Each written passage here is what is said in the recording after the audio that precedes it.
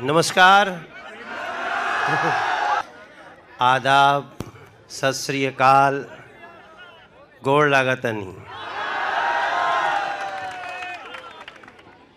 धुंध में लौका था कि ना ही पीछे?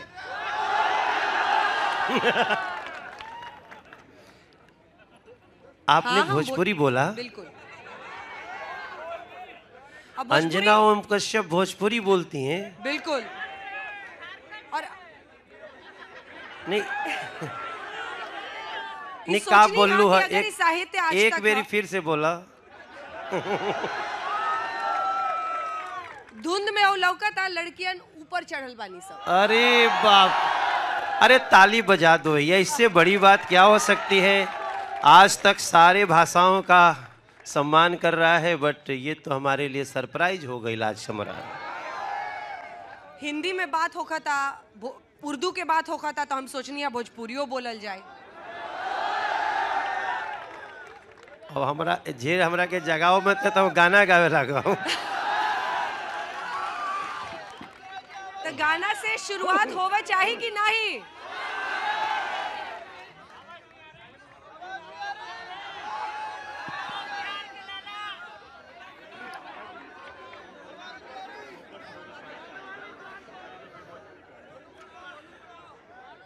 हम अगर आप जैसे आप बोलिएगा शुरू करने को हम एक ऐसा भोजपुरी गीत आपको सुनाएँगे जिसमें नारी के कोमल मन की एक ऐसी बात है नारी क्यों महान है इसका एक गाना है।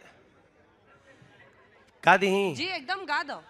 हरे फेंकी दिहले थारिया फेंकी दिहले थारिया बलम गईले झरिया। पहुँचले की ना अंजना जी। सर ये लोग आपका गाना गा रहे हैं। हाँ गा रहे ना। ने मेहरारू कहतिया थरिया फेंक दो। थरिया फेंक देहले झरिया के लिए एकर चिंता नहीं खे। उसकी चिंता क्या है कि फेंकी दिहले थारिया बलम गईले झरिया। पहुँचले कि ना उठे हिया में लहरिया पहुँचले कि ना उसको इस बात की चिंता नहीं डांट दिए थाली फेंक दिए। उसको चिंता है कि जैसे भी है ठीक ठाक से पहुँच गए कि नहीं मेरे साजन इतनी चिंता भोजपुरी में बोलकर और भी मिठास आ जाती हाँ।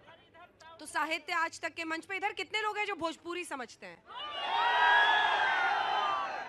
समझे ना समझे सम्मान ज़रूर करते हैं क्योंकि हम हम भारतीय हैं हम भारत की सारी भाषाओं का सम्मान करते हैं। तो दिल्ली में भोजपुरी के ज़रिए लगता है आपने नब्ज पर हाथ रख दी है। नहीं। मैंने? मैंने तो सच बताएँ अंजना जी तो दिल्ली के लोगों का जीवन भर एहसान नहीं भूल पाएँगे। जैसे में मुझे बीजेपी का अध्यक्ष बनाया गया। लोगों ने कहा, जो मनोजवा जैसे बड़े तोरा के जिता देता नहीं जा तो मैं कैसे भूल सकता हूँ? जितने लोग, जितनी भाषाएँ हैं, मैं सभी का आदर क्या करें अब?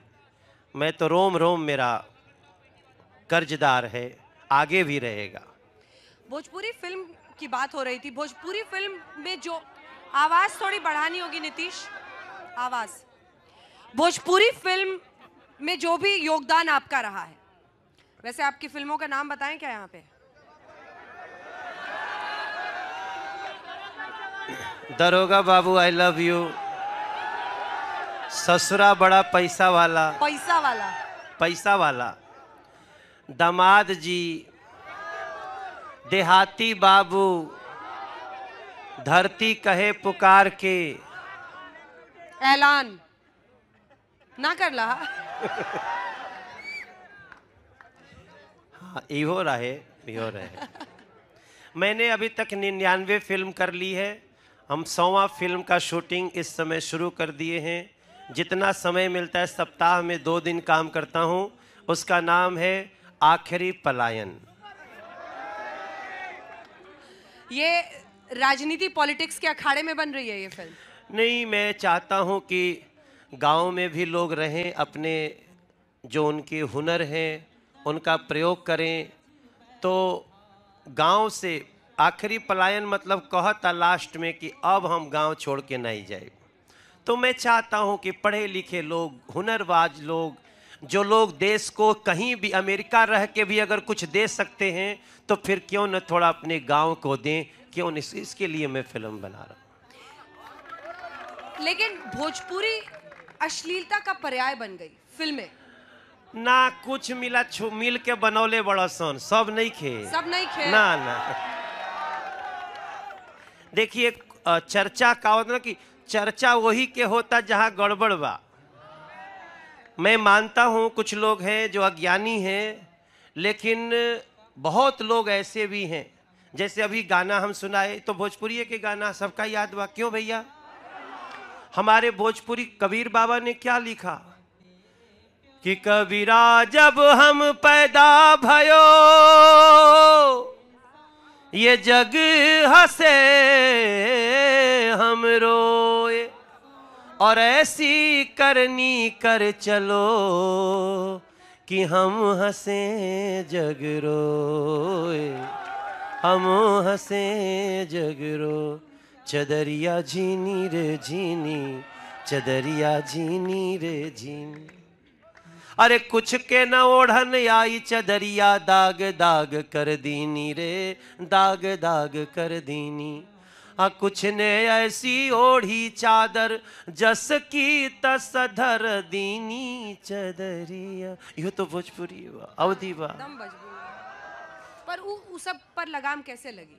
जो है और उनको लगता है कि सिर्फ़ हम बहुत क्लोज टू पॉइंट जाएँगे तभी भोजपुरी बिकेगी। चट देनी मार देली खींच के तमाचाई हंस देल रिंकिया के पापा अब बताओ इसमें क्या ऐसा मैं सच बताऊँ अंजना जी बहुत सारे अच्छा अच्छा गीत बने हैं लेकिन वही कहल जाला ना कि एगो गंदा मछली पूरा तालाब के। सो so, आज तक पे चर्चा आप कर दे रहे हो तो ये अच्छा हो जाएगा। अच्छा होगा। और बिहार के लाला फिर क्या कहेंगे? वो तो कहेंगे हाँ कहेंगे हो जिया हो बिहार के लाल। अरे जिया तू हज़ार साल। अरे जिया हो दिल्ली के बाला। जिया दस हज़ार साल। अरे जिया हो भारत के नौनिहाल। तनि धूमधाम से, तनि झूम झाम के, तनि धूमधाम से, तनि झूम झाम के, अपने कर्म से अपने माटी के मान बढ़ावा ये भैया भैया भैया।